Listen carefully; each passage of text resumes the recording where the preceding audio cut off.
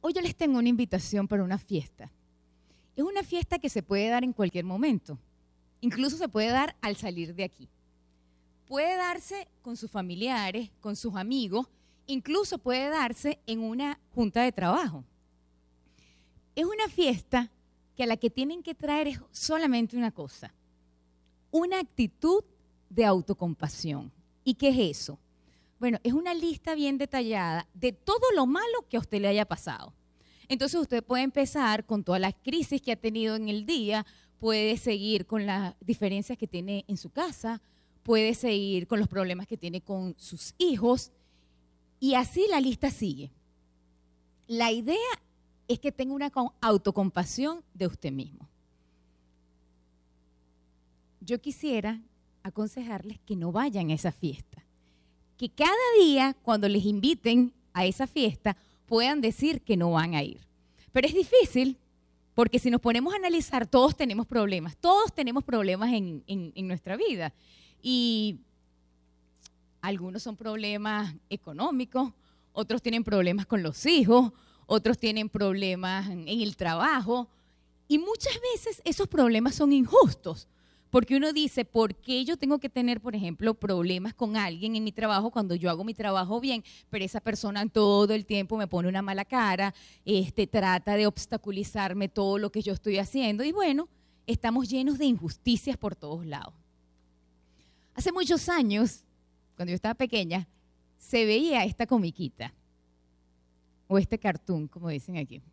Este era un pollito que tenía la mitad del cascarón en su cabeza y ese pollito siempre le pasaba algo malo al final, siempre, siempre. El, episodio era que al final le pasaba algo malo y yo no sé cuántos lo vieron. ¿Se acuerdan cómo se llamaba ese pollito? Calimero. ¿Y qué decía al final Calimero? Es una injusticia. Todo era una injusticia. Yo les repito a veces a mis hijos eso. Cuando empiezan, yo no quiero calimeros aquí en mi casa, les digo yo. Pero hay muchas injusticias en, en el mundo. Y yo hoy les voy a hablar de un personaje bíblico que pudo ser el rey de la autocompasión, porque le pasaron tantas cosas malas que él pudo estar de queja en queja continuamente. ¿Quién creen ustedes que es ese? El apóstol Pablo, ¿verdad? El apóstol Pablo fue encarcelado en una prisión romana y no por cometer un crimen, no hizo nada malo, sino que lo que hizo fue hablar de la palabra de Dios. Y él pudo decir, pero Dios mío, ¿qué es esto? O sea, ¿cómo tú me pagas? Yo saliendo de mi comodidad, cuando estaba a los pies de Gamaliel, ¿verdad? Estudiando la palabra allá, tranquilito estaba, y yo me vengo a llevar el Evangelio a Europa, a Asia Menor, y me vienen a encarcelar. Pero él eligió, así como ven esa imagen, en vez de mirar hacia abajo y de mirar las aflicciones, mirar hacia arriba, hacia esa persona de la que él estaba hablando. Y no perdió oportunidades porque fíjense que mientras él estaba en la cárcel, él utilizaba eso para hablarle a los carceleros, a los compañeros de celda y obtuvo muchos beneficios. Pero una de las cosas más maravillosas de Pablo en su cárcel fue que le escribió una de las joyas literarias más grandes que existen en la Biblia. Y hay muchos libros que escribió Pablo, pero yo les voy a hablar hoy de una carta que apenas tiene cuatro capítulos, pero yo quisiera que al salir de aquí, cuando ustedes tengan tiempo, ustedes se lean esa carta. Es la carta a los filipenses. Tiene apenas cuatro capítulos y si nosotros nos ubicamos geográficamente, Filipos estaba más o menos en el centro de ese mapa. Este es un mapa actual, estaría más o menos entre Grecia y Turquía, o sea, la región de Macedonia, y ahí lo vemos bien identificado.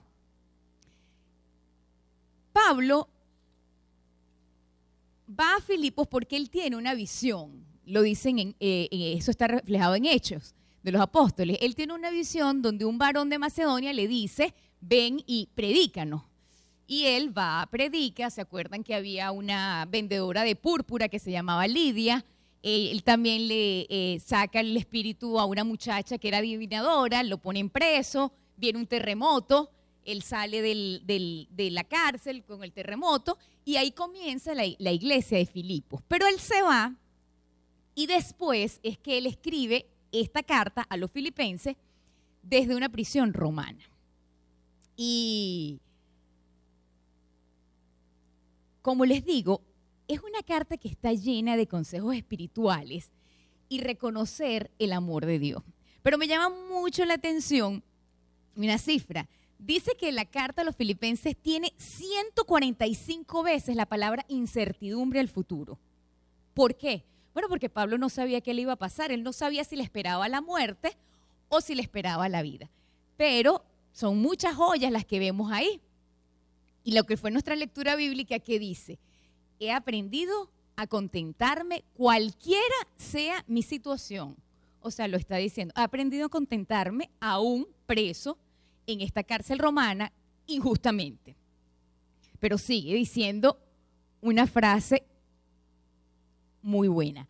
Sé lo que es vivir en la pobreza y lo que es vivir en la abundancia. He aprendido a vivir en todas y cada una de las circunstancias tanto a quedar saciado como a pasar hambre, a tener de sobra como a sufrir escasez. Y termina con esta frase que todo el tiempo nosotros la repetimos, pero no repetimos lo que está antes. Nosotros decimos todo lo puede en Cristo porque lo fortalece, pero no importa si nos quejamos o si estamos bien en la pobreza o en la, o en la necesidad. Filipenses es una carta que cada uno de nosotros debería leerla, pero como personal. Y deberíamos entender ¿Qué es lo que Dios quiere para nosotros con las preocupaciones?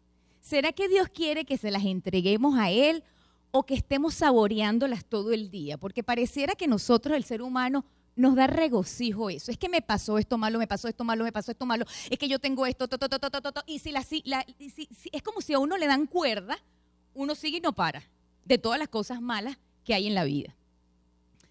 El apóstol fue muy claro.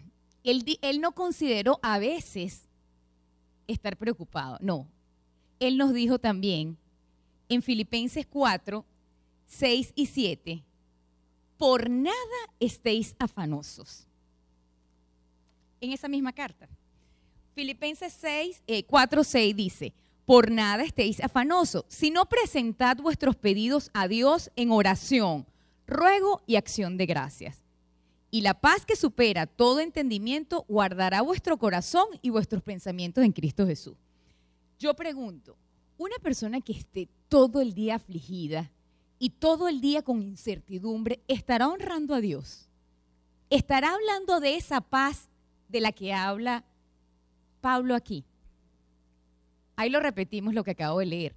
Por nada estéis afanosos, presentad sino sean conocidas vuestras peticiones, porque claro que todos tenemos peticiones, en oración y ruego, en acción de gracia.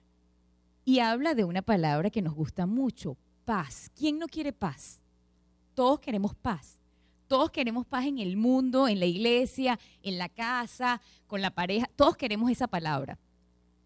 Dice Isaías complementando este versículo. Tú guardarás en completa paz a quién? aquel cuyo pensamiento, pero entonces yo tengo que estar pensando en eso para poder generar paz. Si yo pienso en todas las vicisitudes y todas las cosas malas que me pasan en mi vida, yo no voy a tener paz. Y bueno, la gratitud es una cosa que nos ayuda a contrarrestar la autocompasión y las quejas. Y yo no sé cuántos tienen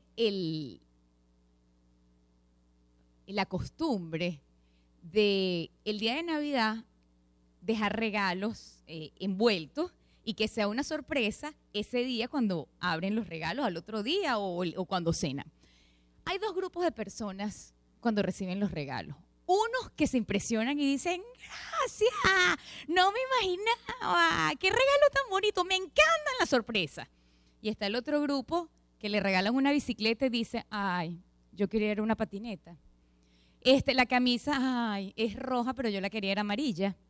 Ay, no hay forma de complacerlo. Entonces, yo no sé en qué grupito estamos nosotros, pero en Lucas 17 hay una historia que me encanta y que no sé cuántos de nosotros también nos vamos a reflejar en ella. Ustedes ven esa imagen. ¿Qué historia creen que era esa? Estamos hablando de gratitud. Los leprosos, ¿verdad? Habían 10 leprosos. La lepra, sabemos que era una, una enfermedad terrible de la época. La persona que tenía lepra la tenían que sacar de su casa. No podía trabajar en lo que trabajaba, no podía tener contacto con sus seres amados, era execrado.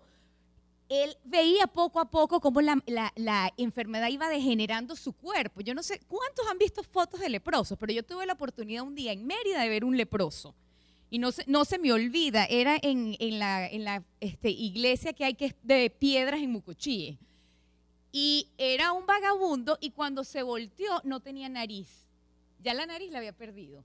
Le faltaban dedos. Y esa es una enfermedad que ya está curada. Pero imagínense, hace muchos años, cuando ellos tenían que estar todos juntos y que no había ningún tipo de paliativo o de tratamiento.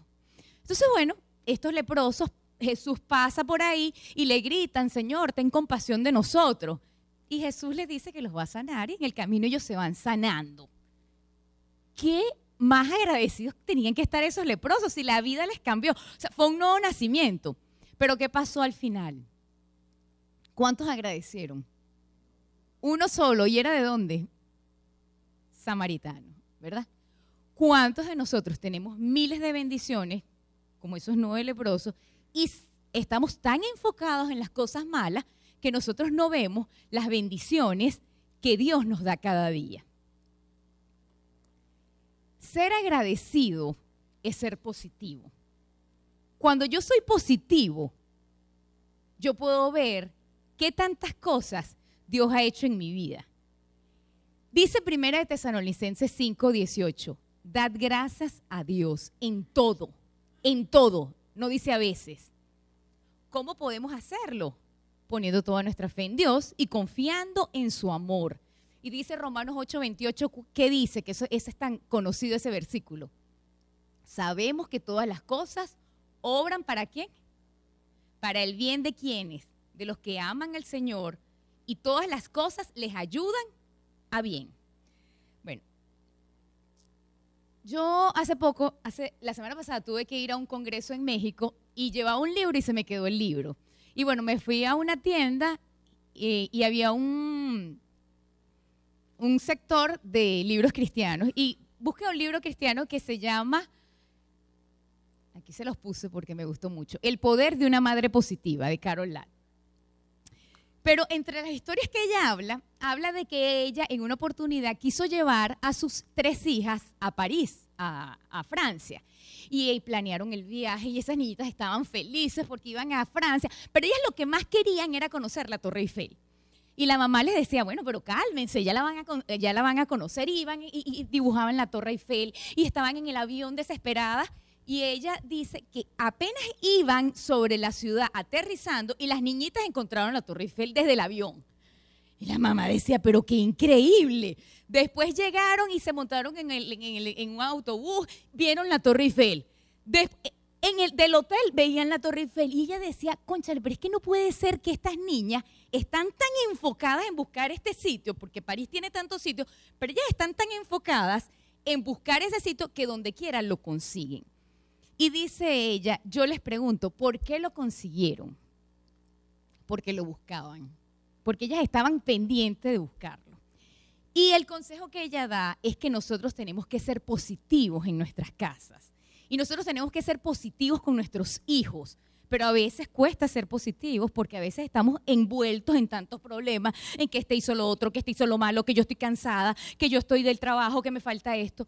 Y nosotros así como esta mamá que dice que ella compró una Torre Eiffel chiquitica, que la tiene en su casa y que cada vez que ve la Torre Eiffel dice, yo tengo que conseguir cosas positivas para decirles a mis hijos, a mi pareja, a mi familia. Y en la medida en que yo diga cosas positivas, el ambiente va a estar mejor.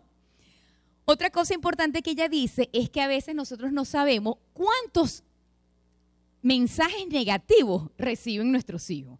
Y por cada tres mensajes negativos que reciben nuestros hijos, hay que darle siete positivos. ¿Y qué es un mensaje negativo? Bueno, un mensaje negativo es que, por ejemplo, ellos fueron a un partido de fútbol y uno de los, de los hijos nuestros falló la pelota.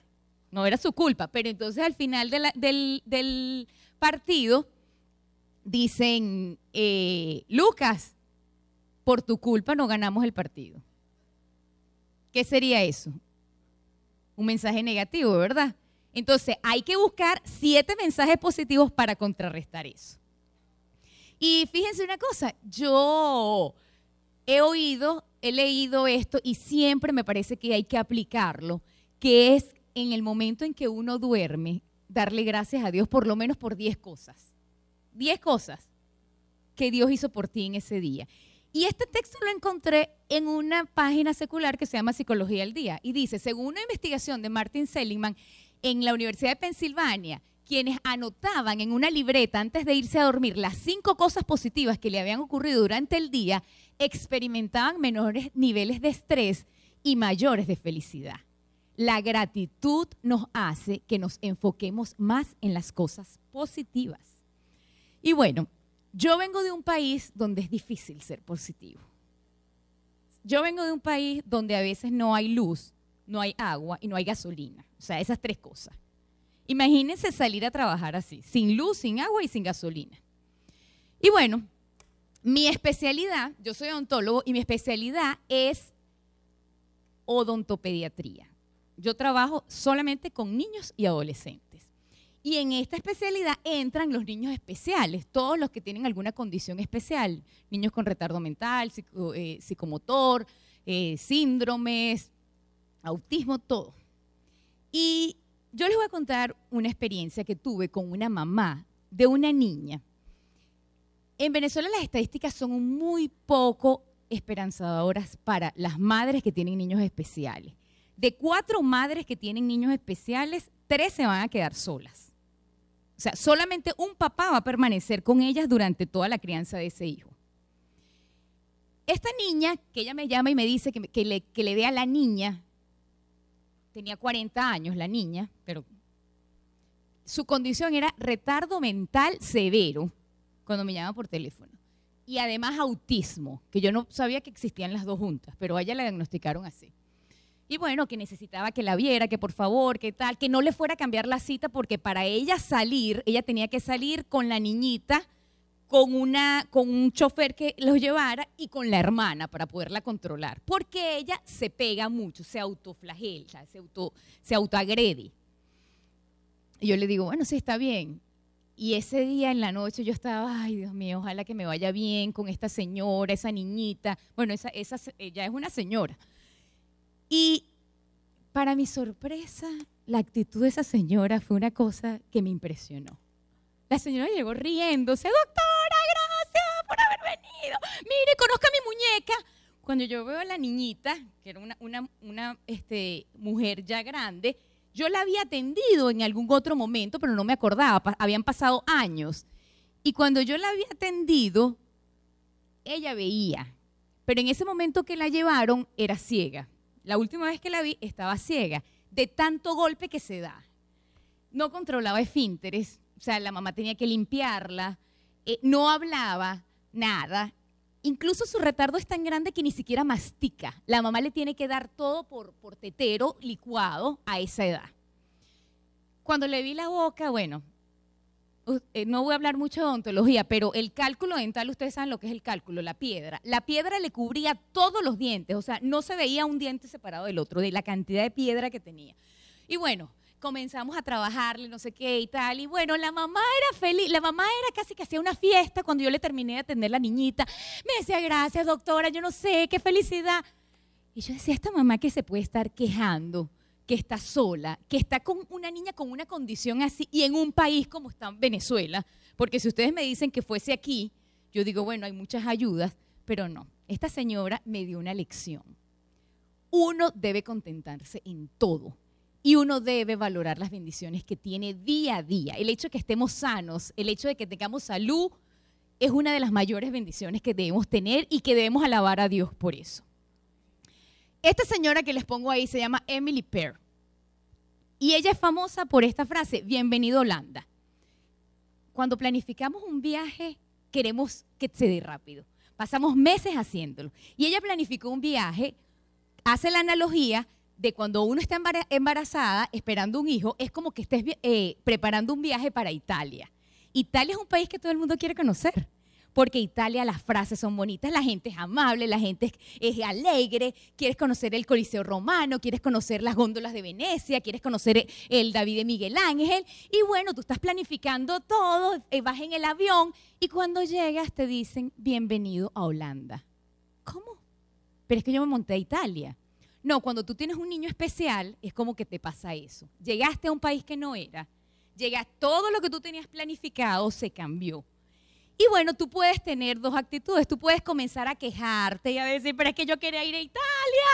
Yo lo que quería ir a Italia. Yo lo que me aprendí fueron las buongiorno, las frases en italiano. No me aprendí nada en holandés. Nadie sabe hablar holandés.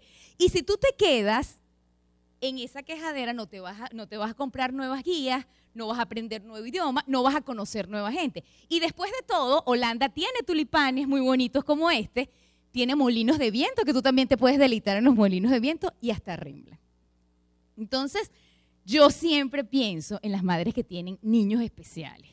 Y de verdad, en nuestra iglesia, yo aquí no he visto niños especiales, pero considero que es un ministerio que nosotros deberíamos soportar, deberíamos ayudar, porque son muchas, como les digo, la estadística de madres que van a criar esos niños solas.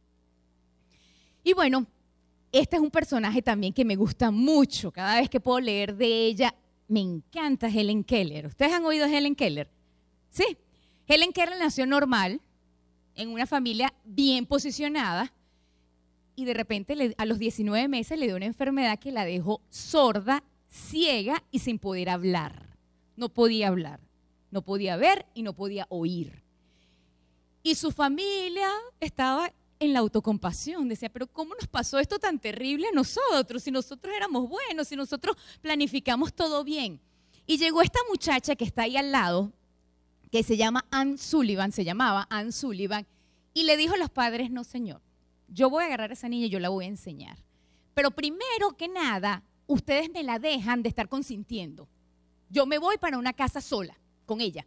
Y yo la voy a enseñar a que ella, tocándose los labios, de la persona que está hablando, ella sepa lo que están diciendo. Y la voy a enseñar a que eh, lea por el método braille. Y la voy a enseñar a que escriba. Y la voy a enseñar a que haga tantas cosas. Y yo quisiera que ustedes, niños y adultos, lean la biografía de Helen Keller, todo lo que llegó a hacer en su vida. Ella llegó a recibir honores de hasta seis países del mundo ella llegó a conocer a Alexander Graham Bell, el descubridor del teléfono, y Alexander Graham Bell la felicitaba, decía, tú eres una persona de admirar. Y yo digo, si hoy a mí me preguntaran cuáles son las mujeres más influyentes, preparando este, este, esta meditación leí que entre las mujeres más influyentes está la, la primera ministra de, de Alemania, Merkel, Angela Merkel, y yo diría, no, yo entre ellas pondría a Helen Keller, pero también pondría a Anne Sullivan, porque sin esa institutriz ella no hubiese sido lo que fue. Entonces, es mucho lo que nosotros deberíamos aprender del apóstol Pablo. Como les digo, la carta de los filipenses son apenas cuatro capítulos, pero ustedes se van a dar cuenta cuando la lean de que hay muchas, muchos versículos que nosotros repetimos y repetimos y están en esta carta. Filipenses 1:21 dice, porque para mí el vivir es Cristo y el morir ganancia. ¿Qué confianza tiene que tener una persona para que diga eso? Si me muero bien, porque yo estoy conectada con un Señor, con mi Dios, que sé lo que me va a dar. Y dice otro capítulo. Fíjense todos los, los, los textos que he citado. No que lo haya alcanzado ya, ni que sea perfecto, porque él no era perfecto y él lo reconocía, sino que prosigo por ver si logro hacer aquello por lo cual fui también asido por Cristo Jesús. Hermanos, yo, yo mismo no pretendo haberlo alcanzado, pero una cosa hago. ¿Y qué dice esa frase? Olvidando lo pasado o lo que queda atrás y extendiéndome a lo que está delante, prosigo a la meta. ¿Cuál meta? ¿Quiénes saben quiénes son estos dos personajes que están ahí? ¿Los han visto? ¿Sí? Usain Bolt y Asafa Powell. A los que les gustan las Olimpiadas, a mí me encanta cuando, cuando empiezan las Olimpiadas ver a los atletas, o sea, ese cuerpo que tienen, esa preparación que reciben, esa resistencia que tienen por tiempos. Y Usain Bolt es famoso, es porque él tiene un récord en 100 metros planos y 400 metros planos. Y él ha superado su propio récord. Ellos ambos son de Jamaica. Y llama la atención porque ambos fueron entrenados por el mismo, el mismo personal, el mismo grupo ambos están genéticamente parecidos, porque son los dos de Jamaica. La altura es muy parecida, el peso es muy parecido, la edad es muy parecida, pero Powell, a pesar de que es muy bueno, no ha superado a Usain Bolt. Y entonces esto llevó a que un grupo de psicólogos dijeran, vamos a estudiar, porque aquí tiene que haber algo, aquí tiene que haber algo que no nos hemos dado cuenta. Y vamos a indagar, vamos a hacer entrevistas, vamos a hacer encuestas, preguntas claves para ver qué es lo que pasa, porque Usain Bolt siempre llega y el otro no. Y bueno, cuando le comenzaron a preguntar a Powell, le dijeron, cuando tú estás corriendo en el momento de la carrera, ¿qué es lo que tú piensas? Y él dijo varias frases, pero entre esas dijo, bueno, yo pienso mucho en mi tiempo para superar mi tiempo, que no es una frase mala. Pero Usain Bolt se la comió con lo que contestó. ¿Saben qué contestó? Yo no pienso en tiempo, yo pienso en meta yo tengo la mente, es en mi meta. Nosotros como cristianos deberíamos ser así. Nosotros tenemos que estar pendientes, es de nuestra meta, no de estar compadeciéndonos, autocompadeciéndonos por todo lo malo que está aquí a nuestro alrededor. Porque en el mundo, ¿qué dijo Jesús? ¿Qué dijo Jesús que íbamos a encontrar en el mundo? ¿Y qué, qué más dijo? Esa es una promesa bellísima que yo quisiera que la busquemos. ¿Quién más injusto que Jesús? ¿Cuántas más injusticias no le hicieron a Jesús? Dice Juan 1.11, vino a lo que era suyo y, los suyos qué pasó? No le conocieron. Vamos a buscar Juan 14.27 y veremos una promesa que todos deberíamos llevarla hoy en nuestros corazones. Juan 4:27 dice, Juan 14, 27, perdón. La paz os dejo, mi paz os doy. Os la doy no como el mundo la da. No se turbe vuestro corazón, ni tenga, pero complementa con Juan, una paginita después, Juan 16, 33, que dice, estas cosas os he hablado para que en mí tengáis qué? Paz. En el mundo que tendréis Dios no, les está, no nos está diciendo, no, tranquila, que es que no van a tener problemas, es que no vas a tener diferencias en tu trabajo, es que no vas a tener conflictos con los hijos, no. Muy claramente está diciendo, en el mundo hallaréis, pero ¿cuál es la parte para contrarrestar eso? Pero tened buen ánimo. Unas versiones dicen, pero confiad, yo he vencido al mundo. Y Filipenses 1.6 Fíjense, otra, otra perla espiritual que encontramos en, en Filipenses 1.6 dice, y estoy seguro de que Dios, quien comenzó la buena obra en ustedes, la continuará hasta que quede completamente terminada el día que Cristo Jesús vuelva. Termino con esta frase que espero que sea de ayuda para cada uno de nosotros. Ahora viene el himno final, que lo va a anunciar el hermano Sergio. Yo quisiera que este himno que es corto, cada uno de nosotros lo cantara como una oración. Y que cada uno lea las estrofas y diga para sí si Dios ha sido o no ha sido misericordioso con cada uno de nosotros. Si nosotros de aquí en adelante tenemos que tener una actitud de agradecimiento a Él cada minuto que respiremos, porque son más las bendiciones que Dios nos ha dado que las aflicciones que hemos pasado en este mundo.